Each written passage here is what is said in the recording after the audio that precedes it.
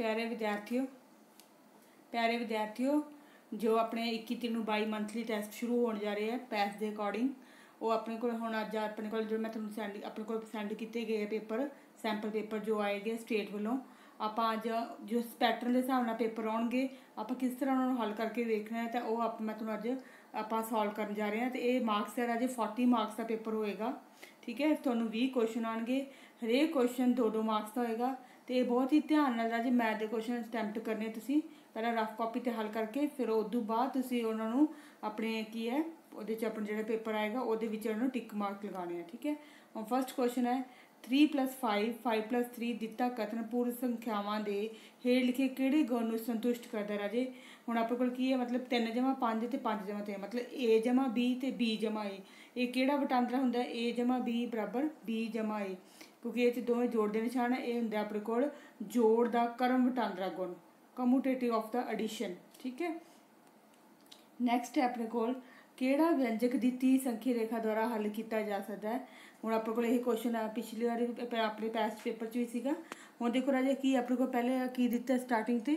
655 ਠੀਕ ਹੈ? 655 ਦੇ ਵਿੱਚ 100 ਜੋੜੇ ਤਾਂ ਬਣ ਗਿਆ ਆਪਣੇ ਕੋਲ 755 ਫਿਰ ਉਹਦੇ 'ਚ 80 ਜੋੜੇ ਤਾਂ ਆਪਣੇ ਕੋਲ ਬਣ ਗਿਆ 835 ਠੀਕ ਹੈ? ਫਿਰ 835 ਦੇ ਵਿੱਚ 4 ਜੋੜੇ ਤਾਂ ਆਪਣੇ ਕੋਲ ਬਣ ਗਿਆ 839 ਠੀਕ ਹੈ? ਹੁਣ ਤੁਸੀਂ ਇੱਧਰ ਦੇਖੋ ਰਾਜੇ 655 ਪਹਿਲੇ ਵਾਲਾ ਸਾਰਾ ਚ ਸੇਮ ਹੈ। ਉਦੋਂ ਬਾਅਦ ਅਗਲੇ ਅੱਖਰਾਂ ਜੋੜ ਲਓ। 100 ਜਮਾ 40 ਜਮਾ 80 ਜਮਾ 4 184 100 ਜਮਾ 80 ਜਮਾ 4 184 ਆ ਗਿਆ।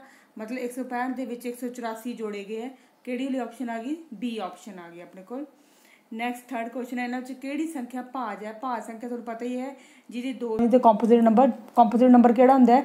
ਜਿਹੜਾ ਇੱਕ ਜਿਹਦੇ ਦੋ ਤੋਂ ਵੱਧ ਫੈਕਟਰ ਹੋਣ, ਹੁਣ ਜੇ 7 ਹੈ 7 ਇੱਕ ਦੇ ਪੜ ਤੇ ਜਾਂਦਾ ਤੇ 7 ਦੇ ਪੜ ਤੇ ਜਾਂਦਾ ਦੋ ਹੀ ਫੈਕਟਰ ਹੈ, ਇਹ ਭਾਜ ਹੋ ਗਈ, ਇਹ 23 ਇੱਕ ਦੇ ਪੜ ਤੇ ਜਾਂਦਾ 23 ਦੇ ਪੜ ਤੇ ਜਾਂਦਾ ਤੇ ਇਹ ਵੀ ਆ ਭਾਜ ਹੋ ਗਈ ਪ੍ਰਾਈਮ ਨੰਬਰ ਹੋ ਗਿਆ 81 ਜਿਹੜਾ ਹੈਗਾ, ਇੱਕ ਦੇ ਪੜ ਤੇ ਵੀ ਜਾਂਦਾ ਤਿੰਨ ਦੇ ਪੜ ਤੇ ਵੀ ਜਾਂਦਾ 9 ਦੇ ਪੜ ਤੇ ਵੀ ਜਾਂਦਾ ਤੇ 81 ਦੇ ਪੜ ਤੇ ਜਾਂਦਾ ਇਟ ਮੀਨ ਇਹ ਹੋ ਗਈ ਭਾਜ ਸੰਖਿਆ ਬਟ ਰਾਜੇ 93 ਵੀ ਰਾਜੇ ਭਾਅ ਸੰਖਿਆ ਹੀ ਹੈ। ਇੱਕ ਦੇ ਭੜ ਤੇ ਜਾਂਦਾ, ਤਿੰਨ ਦੇ ਭੜ ਤੇ ਜਾਂਦਾ 31 ਦੇ ਭੜ ਤੇ ਜਾਂਦਾ, ਆਪਦੇ ਭੜ ਤੇ 93 ਤੇ ਜਾਂਦਾ। ਤਾਂ ਇਹ ਵੀ ਭਾਜ ਹੋਗੀ ਠੀਕ ਹੈ? ਇਹ ਥੋੜੇ ਜਿਹਾ ਆਪਣੇ ਕੋ ਕੁਐਸਚਨ ਥੋੜਾ ਮਿਸਪ੍ਰਿੰਟ ਹੋ ਗਿਆ, ਤਾਂ ਇਹ ਦੋਨੋਂ ਹੀ ਆਪਸ਼ਨਸ ਆ ਜਾਣਗੇ ਸੀ ਔਰ ਡੀ ਠੀਕ ਹੈ? ਅਗਲਾ ਚੌਥਾ ਕੁਐਸਚਨ ਹੈ, ਸੰਪੂਰਨ ਸੰਖਿਆਵਾਂ ਨੂੰ ਵੱਧਦੇ ਕ੍ਰਮ 'ਚ ਲਿਖਣਾ ਹੈ। ਲਾਈਨ ਬਣਾ ਕੇ ਤੁਸੀਂ ਸ਼ੋ ਕਰਨਾ ਜਦੋਂ ਆਪਾਂ ਖੱਬੇ ਤੋਂ ਸੱਜੇ ਜਾਂਦੇ ਆ ਤਾਂ ਵੱਧਦੇ ਕ੍ਰਮ ਹੁੰਦਾ ਹੈ। ਖੱਬੇ ਤੋਂ ਸੱਜੇ ਆਵਾਂਗੇ ਤਾਂ ਉਦੋਂ ਘਟਦੇ ਕ੍ਰਮ ਹੁੰਦਾ ਹੈ, ਠੀਕ ਹੈ? ਹੂੰ। ਚਲੋ ਦੇਖੋ, ਪਹਿਲਾਂ ਆਪਾਂ ਪਹਿਲਾਂ ਦਾ -8 ਇੱਥੇ ਆ ਗਿਆ -6 ਗੈਪ ਪਾ ਕੇ, ਫਿਰ 0 ਵਿਚਾਲੇ ਸੈਂਟਰ ਵਾਲਾ ਫਿਰ ਸੇ ਜੋ 5 ਲੈਤਾ ਤੇ ਆਪਣੇ ਕੋਲ ਕੀ ਆ ਗਿਆ -8 -6 0 ਤੇ 5 ਆ ਗਿਆ, ਠੀਕ ਹੈ? ਸੀ ਆਪਸ਼ਨ ਆ ਗਈ। ਅਗਲਾ ਪੰਜਵਾਂ ਸਵਾਲ ਹੈ 1/7 1 ਬਟਾ ਨੂੰ ਕਰਨ ਦਾ ਸਹੀ ਤਰੀਕਾ ਕੀ ਹੈ ਰਾਜੇ? ਹੁਣ ਦੋਵਾਂ ਦੇ ਹਾਰ ਅਲੱਗ-ਅਲੱਗ ਹੈ ਬਟਰਫਲਾਈ ਵਾਲੀ ਗੁਣਾ ਕਰ ਦੋ 7 8 ਫਿਰ 8 ਏਕਮ 8 7 ਏਕਮ 7 8 ਘਟਾਓ 7 ਕਿਹੜੀ ਆਪਸ਼ਨ ਆ ਜਾਏਗੀ? ਸੀ ਆਪਸ਼ਨ ਆ ਗਈ ਆਪਣੇ ਕੋਲ। ਛੇਵਾਂ ਸਵਾਲ ਹੈ, ਦਿੱਤੇ ਹੋਏ ਪੈਟਰਨ ਨੂੰ ਆਪਾਂ ਦੱਸਣਾ ਹੈ ਕਿ ਇਹ ਚ ਅਗਲਾ ਪਦ ਕਿਹੜਾ ਹੋਊਗਾ? ਦੇਖੋ ਉੱਪਰਲੇ ਅੰਸ਼ 13 14 15 16 ਫਿਰ ਅਗਲੇ ਦਿਨ 17 ਹੋ ਗਿਆ।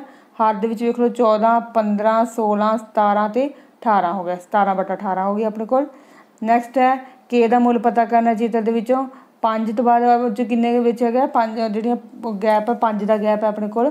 ਮਤਲਬ ਉਹਦੇ ਬਾਅਦ 6 ਆਂਦਾ ਇਹ ਦੋ ਦੋ ਗੈਪ ਦਾ ਬਣ ਜਾਊਗਾ। ਜੇ 10 ਹੁੰਦਾ ਤਾਂ ਆਪਾਂ ਇੱਕ ਇੱਕ ਦਾ ਗੈਪ ਲੈ ਲੈਣੇ ਆ 5.2 5.4 ਕੇ ਆ ਗਿਆ 5.6 ਠੀਕ ਹੈ ਤਾਂ ਅਗਲਾ ਹੋਊਗਾ 5.8 ਤੇ ਫਿਰ ਉਸ ਤੋਂ ਬਾਅਦ 6 ਹੀ ਹੋ ਜਾਊਗਾ ਠੀਕ ਹੈ ਇਹ ਆਪਣੇ ਕੋਲ ਕਿਹੜੀ ਆਪਸ਼ਨ ਆ ਗਈ ਡੀ ਆਪਸ਼ਨ ਆ ਗਈ ਅਗਲਾ ਹੈਗਾ 8 ਬਟਾ 100 ਜਮਾ 9 ਬਟਾ 1000 ਦਾ ਮੁੱਲ ਪਤਾ ਕਰਨਾ ਹੈ ਹੁਣ ਇਹ ਮਤਲਬ ਜੇ ਬਟਾ 100 ਵਾਲੇ ਚ 1000 ਵਾਲੇ ਚ ਆ ਕੇ ਦਸ਼ਮਲਵ ਰੂਪ ਪਹਿਲਾਂ ਹੀ ਆਪਣੇ ਕੋਲ ਦਸਵੇਂ ਮਤਲਬ ਦਸ਼ਮਲਵ ਰੂਪ ਤੋਂ ਬਾਅਦ ਵਾਲੇ ਸਵਾਲ ਪੁਆਇੰਟ ਤੋਂ ਬਾਅਦ ਵਾਲਾ ਅੱਖਰ ਹੈ ਹੁਣ ਇਹ ਚ 10 ਵਾਲੀ ਰਕਮ ਹੈ ਨਹੀਂ ਤਾਂ ਆਪਾਂ ਜਿਵੇਂ 0 ਬਟਾ 10 ਲੈ ਦਾਂਗੇ ਉਹਦੀ ਥਾਂ ਤੇ 0 ਆ ਜੂਗੀ ਤਾਂ ਪੁਆਇੰਟ ਲਗਾ ਕੇ ਬਿੰਦੂ ਲਗਾਵਾਂਗੇ ਤੇ ਆ ਦਸਵੇਂ ਦੀ ਥਾਂ ਤੇ 0 100ਵੇਂ ਦੀ ਥਾਂ ਤੇ 8 ਹਜ਼ਾਰਵੇਂ ਦੀ ਥਾਂ ਤੇ 9 ਹੈ। ਤਾਂ ਆਪਣੇ ਕੋਲ ਆਨਸਰ ਆ ਗਿਆ 0.089 ਮਤਲਬ ਪਹਿਲੀ ਵਾਲੀ ਆਪਸ਼ਨ ਆ ਗਈ। 50 ਦਾ ਰੋਮਨ ਅੰਕ ਲਿਖੋ 50 ਦਾ ਰੋਮਨ ਅੰਕ ਹੁੰਦਾ ਆਪਣੇ ਕੋਲ L 40 ਮਿੰਟ ਨੂੰ 1 ਘੰਟੇ ਦੀ ਭਿੰਨ ਦੱਸਣੀ ਹੈ। 1 ਘੰਟੇ 'ਚ ਮਿੰਟ ਹੁੰਦੇ ਆ 60 ਠੀਕ ਹੈ? ਤਾਂ ਹੁਣ ਆਪਣੇ ਕੋਲ ਆ ਜਾਏਗਾ। ਭਿੰਨ ਬਣ ਜੂਗੀ 40 ਬਟਾ 60 ਠੀਕ ਹੈ? 0 0 ਕੱਟਤੀ ਆਪਣੇ 2 2 4 2 3 6 2 ਬਟਾ 3 ਆ ਜੂਗੀ। ਨੈਕਸਟ ਹੈ 11ਵਾਂ ਕੁਐਸਚਨ ਸੀ ਆਪਸ਼ਨ ਸੀ ਆਪਣੇ ਕੋਲ। 11ਵਾਂ ਕੁਐਸਚਨ ਹੈ 5 ਸੈਂਟੀਮੀਟਰ ਅਤੇ 2 ਮਿਲੀਮੀਟਰ ਨੂੰ ਦਸ਼ਮਲਵ ਰੂਪ ਚ ਲਿਖਣਾ ਹੈ। 5 ਸੈਂਟੀਮੀਟਰ ਹੈਗਾ, ਆਪਾਂ ਨੂੰ ਸੈਂਟੀਮੀਟਰ ਚ ਲਿਖਣਾ ਹੈ। 5 ਸੈਂਟੀਮੀਟਰ ਕੀ ਹੋਗਾ ਆਪਣੇ ਇਕਾਈ ਦੀ ਥਾਂ ਤੇ ਆ ਜਾਊਗਾ। ਮਿਲੀਮੀਟਰ ਨੂੰ ਆਪਾਂ ਚੇਂਜ ਕਰਨਾ ਸੈਂਟੀਮੀਟਰ ਚ। ਕਿੰਨੇ ਦੇ ਮਿਲੀਮੀਟਰ ਸੈਂਟੀਮੀਟਰ ਬਟਾ ਮਤਲਬ ਇੱਕ ਬਟਾ 10 ਹੋ ਜਾਣਗੇ ਤੇ 2 ਬਟਾ 10 ਲਾਤਾ ਆਪਾਂ। ਤਾਂ ਇਹਦਾ ਆ ਜਾਊਗਾ, ਦਸਵਾਂ ਰੂਪ ਆ ਗਿਆ 5.2 ਇੱਕ ਅੱਖਰ ਛੱਡ ਕੇ ਪੁਆਇੰਟ ਲਾਤਾ ਸੀਗਾ 5.2 ਆ ਗਿਆ ਸੈਂਟੀਮੀਟਰ ਇਹ ਆਪਸ਼ਨ ਆ ਗਈ। ਨੈਕਸਟ ਹੈ 12ਵਾਂ ਕੁਐਸਚਨ 9 ਜਮਾ -6 ਦਾ ਜੋੜਫਲ ਪਤਾ ਕਰਨਾ ਹੁਣ ਦੇਖੋ ਪਲੱਸ ਮਾਈਨਸ ਸਾਈਨ ਵਿੱਚ ਇਕੱਠੇ ਆ ਗਏ। ਜਦੋਂ ਪਲੱਸ ਮਾਈਨਸ ਸਾਈਨ ਇਕੱਠੇ ਹੋਏ ਤਾਂ ਕਾਹਦਾ ਨਿਸ਼ਾਨ ਲੱਗ ਜਾਂਦਾ ਹੈ? ਮਾਈਨਸ ਦਾ ਲੱਗ ਜਾਂਦਾ ਹੈ। 9 ਚ 6 ਘਟਾਏ ਕਿੰਨਾ ਆ ਗਿਆ? 3 ਵੱਡੀ ਰਕਮ ਅੱਗੇ ਪਲੱਸ ਦਾ ਨਿਸ਼ਾਨ ਹੈ ਤਾਂ ਪਲੱਸ ਲੱਗ ਜੂ। ਮਤਲਬ 3 ਆ ਗਿਆ ਕੱਲਾ ਸਿੰਪਲ ਆਪਣੇ ਕੋਲ ਸੀ ਆਪਸ਼ਨ 13ਵਾਂ ਸਵਾਲ ਹੈ, ਰੇਸ਼ਮਾ ਨੇ 10 ਕਿਲੋ ਸਬਜ਼ੀਆਂ ਖਰੀਦੀਆਂ। ਇਸ ਵਿੱਚ 4 ਕਿਲੋ 800 ਗ੍ਰਾਮ ਆਲੂ 3 ਕਿਲੋ 400 ਗ੍ਰਾਮ ਪਿਆਜ਼, ਬਾਕੀ ਦੇ ਟਮਾਟਰ ਲਏ। ਚਲੋ ਪਹਿਲਾਂ ਆਪਾਂ ਆਲੂ ਤੇ ਕੀ ਹੈ, ਪਿਆਜ਼ ਦੇਖ ਲਈ ਕਿੰਨੇ ਹੈ। 4 ਪੁਆਇੰਟ ਮਤਲਬ ਹੁੰਦਾ ਹੈ 800 ਕਿਲੋ ਇਹਦਾ ਮਤਲਬ। ਅਗਲਾ ਹੈਗਾ 3.400 ਕਿਲੋ। ਇਹਨਾਂ ਨੂੰ ਆਪਾਂ ਜੋੜ ਦਾਂਗੇ ਆਪਣੇ ਕੋਲ 0 0 ਫਿਰ 8 ਤੇ 4 12 ਫਿਰ ਪੁਆਇੰਟ ਤੇ ਕਾਂਸਲ ਆ ਗਿਆ 7 ਤੇ 8 ਠੀਕ ਹੈ। ਧਿਆਨ ਰੱਖਣਾ ਪੁਆਇੰਟ ਥੱਲੇ ਪੁਆਇੰਟ ਆਣਾ ਚਾਹੀਦਾ ਹੈ। ਇਹ ਵਾਰ ਵਾਰ ਮੈਂ ਤੁਹਾਨੂੰ ਇਹੀ ਗੱਲ ਸਮਝਾਣੀ ਨਹੀਂ ਆ ਪੁਆਇੰਟ ਥੱਲੇ ਪੁਆਇੰਟ ਆਏ। ਮਤਲਬ ਉਹਨੇ ਕੁੱਲ ਸਬਜ਼ੀ ਜਿਹੜੀ ਆਲੂ ਤੇ ਪਿਆਜ਼ ਲਏ, ਉਹ ਆ ਆਪਣੇ ਕੋਲ 8 ਕਿਲੋ 200 ਗ੍ਰਾਮ ਲਏ ਆ।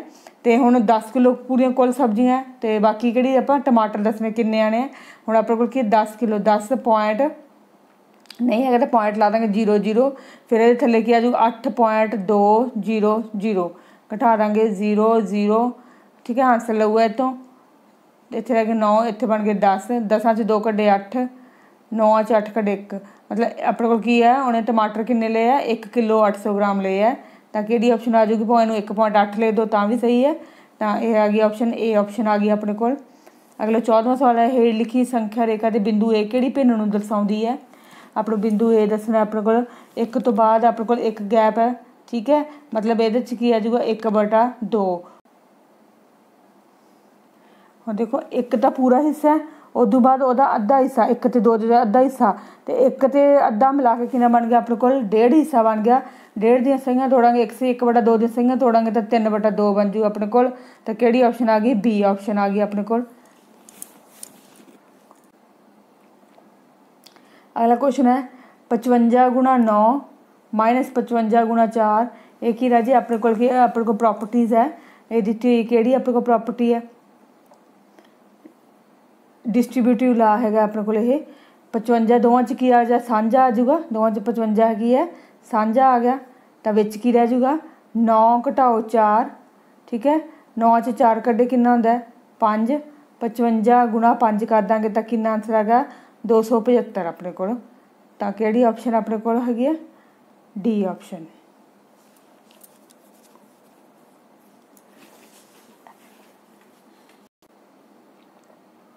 ਹੁਣ ਮਿਲਾਨ ਕਰਨਾ ਹੈ। ਦੇਖੋ, ਪਹਿਲਾ ਹੈਗਾ 6 4 ਕਿੰਨਾ ਹੁੰਦਾ 10 ਪਹਿਲਾਂ ਆਨਸਰ ਲਿਖ ਲੈਣੇ ਆਪਾਂ। 10 ਨਾਲ ਚਲੋ ਮੈਚ ਕਰਾਂਗੇ, b ਨਾਲ ਮੈਚ ਹੋ ਜਾਊਗਾ ਇਹ। ਉਸ ਤੋਂ ਬਾਅਦ ਪਲੱਸ ਮਾਈਨਸ ਦਾ ਸਾਈਨ ਇਕੱਠਾ ਲੱਗਿਆ 10 ਘਟਾਓ 6 ਹੋ ਜਾਊਗਾ 10 ਚ 6 ਘਟਾਏ, ਕਿੰਨਾ ਆ ਗਿਆ? 4 ਕਿਹਦੇ ਨਾਲ? D ਨਾਲ ਮਿਲਾਨ ਹੋ ਜਾਊਗਾ ਇਹ। ਠੀਕ ਹੈ?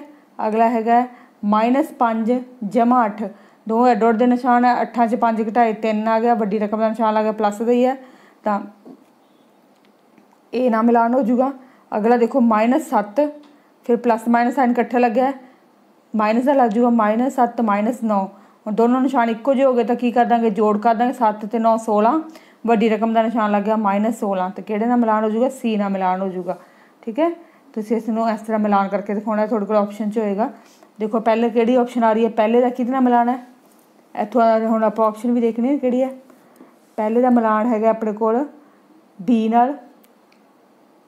ਫਿਰ ਦੂਜੇ ਦਾ ਮਿਲਾਨ ਹੈਗਾ ਆਪਣੇ ਕੋਲ। ਡੀ ਨਾਲ ਇਟ ਮੀਨ ਆਪਣੇ ਕੋਲ ਇਹ ਆਪਸ਼ਨ ਆ ਗਈ ਸੀ ਆਪਸ਼ਨ ਆ ਗਈ। ਨੈਕਸਟ ਹੈਗਾ -13 32 -8 1 ਚਲੋ ਦੇਖੋ ਰਾਜੇ ਪਹਿਲਾ -13 ਜਮਾ 32 -60 ਤੇ -1 ਠੀਕ ਹੈ ਰਾਜੇ ਚਾਹੇ ਤਾਂ ਤੁਸੀਂ ਲਗਾਤਾਰ ਆਪਾਂ ਸਟੈਪ ਵਾਈਜ਼ ਚੱਲ ਸਕਦੇ ਆ ਪਰ ਜੇ ਨਾ ਹੋਵੇ ਤਾਂ ਫਿਰ ਪਹਿਲਾਂ ਕੀ ਕਰੋ ਮਾਈਨਸ ਵਾਲੇ ਨਾਲ ਜਾਂ ਇਹਨਾਂ ਪਹਿਲਾਂ ਦੋ ਹੱਲ ਕਰ ਲਓ। 32 ਚ ਮਾਈਨਸ ਪਲੱਸ ਅੱਡ ਅੱਡ ਦੇ ਨਿਸ਼ਾਨ ਹੈ 32 ਚ 13 ਘਟਾਵਾਂਗੇ, ਕੀ ਆ ਜੋ ਆਪਣੇ ਕੋਲ? 12 ਚ 3 ਘਟਾਏ 9 ਫਿਰ 2 ਚ 1 ਘਟਾਇਆ 1 19 ਆ ਗਿਆ। ਵੱਡੀ ਰਕਮ ਦਾ ਨਿਸ਼ਾਨ ਪਲੱਸ ਲੱਗ ਗਿਆ 19 ਪਲੱਸ ਦੇ ਮਾਈਨਸ 60 ਮਾਈਨਸ 60 ਮਾਈਨਸ 1 ਮਾਈਨਸ 8 ਤੇ ਮਾਈਨਸ 1 ਹੁਣ 19 ਚ 8 ਘਟਾਵਾਂਗੇ ਤਾਂ ਆਪਣੇ ਕੋਲ ਆ ਜੂ 11 ਉਹ ਵੱਡੀ ਰਕਮ ਦਾ ਨਿਸ਼ਾਨ ਪਲੱਸ 11 ਲੱਗ ਗਿਆ ਮਾਈਨਸ 1 11 ਚ 1 ਘਟਾਇਆ ਕਿੰਨਾ ਆ ਗਿਆ? 10 ਆ ਗਿਆ। ਠੀਕ ਹੈ? ਇਹ ਆਪਣੇ ਕੋਲ ਕਿਹੜੀ ਆਪਸ਼ਨ ਆ ਗਈ ਆਪਣੇ ਕੋਲ? ਸੀ ਰਾਜੇ ਹੁਣ ਜੇ ਤੁਸੀਂ ਐਵੇਂ ਵੀ ਕਰ ਸਕਦੇ ਹੋ, ਪਹਿਲਾਂ ਇੱਕੋ ਜਿਹੇ ਨਿਸ਼ਾਨ ਵਾਲੀ ਰਕਮਾਂ ਨੂੰ ਹੱਲ ਕਰ ਲਓ। -13 -8 -1 ਇਹਨਾਂ ਨੂੰ ਆਪਾਂ ਜੋੜ ਦਾਂਗੇ। ਤਾਂ ਆਪਣੇ ਕੋਲ ਆ ਜਾਊਗਾ 13 ਤੇ 8 21 21 ਤੇ 1 22 ਠੀਕ ਹੈ? ਮਾਈਨਸ ਦੇ 22 ਆ ਜਾਊਗਾ। ਤਾਂ ਅੱਗੋਂ ਆਪਣੇ ਕੋਲ 32 ਪਲੱਸ ਦਾ ਸੀ 32 ਚ 22 ਘਟਾ ਦਾਂਗੇ ਤਾਂ ਆਪਣੇ ਕੋਲ ਕੀ ਆ ਜਾਊਗਾ? 10 ਆ ਜਾਊਗਾ। ਤੁਹਾਡੀ ਸੁਵਿਧਾ ਜਿਵੇਂ ਤੁਹਾਨੂੰ ਸੌਖਾ ਲੱਗਦਾ ਰਾਜੇ ਉਸ ਢੰਗ ਨਾਲ ਕਰਿਓ, ਠੀਕ ਹੈ? ਅਗਲਾ 18ਵਾਂ ਕੁਐਸਚਨ ਹੈ। ਇੱਕ ਸਕੂਲ ਦੀ ਕੰਟੀਨ 'ਚ ਹਰ ਰੋਜ਼ ਦੁਪਹਿਰ ਦੇ ਖਾਣੇ ਲਈ 20 ਰੁਪਏ ਖਾਣੇ ਲਈ 20 ਰੁਪਏ, ਦੁੱਧ ਲਈ 4 ਰੁਪਏ ਲੈਂਦੀ ਹੈ। ਤਾਂ ਤੁਸੀਂ 5 ਦਿਨਾਂ ਦੇ ਇਹਨਾਂ ਚੀਜ਼ਾਂ ਤੇ ਕੁੱਲ ਕਿੰਨਾ ਖਰਚ ਹੋਊਗਾ, ਠੀਕ ਹੈ? ਹਰ ਰੋਜ਼ ਪਹਿਲਾਂ ਆਪਾਂ ਇੱਕ ਦਿਨ ਦਾ ਕੱਢ ਲੈਂਦੇ ਹਾਂ, ਕੁੱਲ ਖਰਚਾ ਕਿੰਨਾ ਹੁੰਦਾ ਆਪਣੇ ਕੋਲ ਖਾਣੇ ਵਾਸਤੇ ਹੈਗਾ 20 ਰੁਪਏ ਤੇ ਦੁੱਧ ਵਾਸਤੇ ਹੈਗੇ ਆਪਣੇ ਕੋਲ 8 4 ਰੁਪਏ। ਤਾਂ ਆਪਣੇ ਕੋਲ 20 ਜਮਾ 4 ਕਿੰਨਾ ਬਣ ਗਿਆ? 24 ਰੁਪਏ ਲੱਗਦੇ ਇੱਕ ਦਿਨ ਦੇ। ਠੀਕ ਹੈ? ਇੱਕ ਦਿਨ ਦੇ ਕਿੰਨੇ ਲੱਗ ਗਏ? 24 ਰੁਪਏ ਲੱਗਦੇ ਆ। ਤਾਂ 5 ਦਿਨਾਂ ਦਾ ਕਿੰਨਾ ਖਰਚਾ ਹੋ ਜਾਊਗਾ? 24 ਗੁਣਾ 5 5 ਦਿਨਾਂ ਦਾ ਖਰਚਾ 24 ਗੁਣਾ 5 120 ਰੁਪਏ ਹੋ ਜਾਊਗਾ ਆਪਣੇ ਕੋਲ। ਤਾਂ ਕਿਹੜੀ ਆਪਸ਼ਨ ਆ ਗਈ? ਬੀ ਆਪਸ਼ਨ ਆ ਗਈ ਆਪਣੇ ਕੋਲ। ਠੀਕ ਹੈ? 19ਵਾਂ ਕੁਐਸਚਨ ਹੈ।